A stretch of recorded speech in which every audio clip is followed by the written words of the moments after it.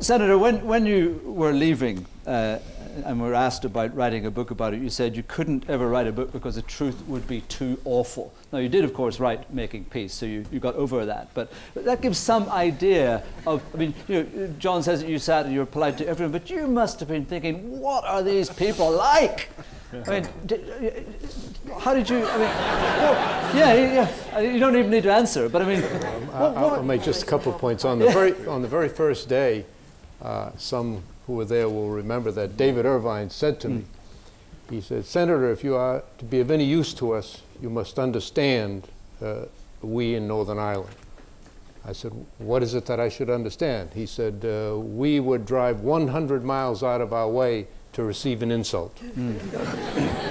and I, I, thought it was a joke, but everybody in the room,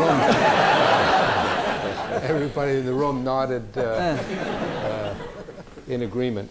The second point I made was that uh, I unwisely said on the first day, because I underestimated the, the length and difficulty of the task, that I told them that I'm a product of the United States Senate, which is a rule of unlimited debate.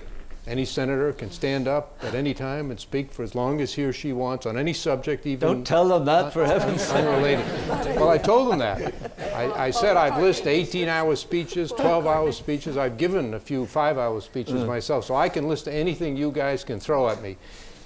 Hundreds of times in the next two years, I regretted making that statement.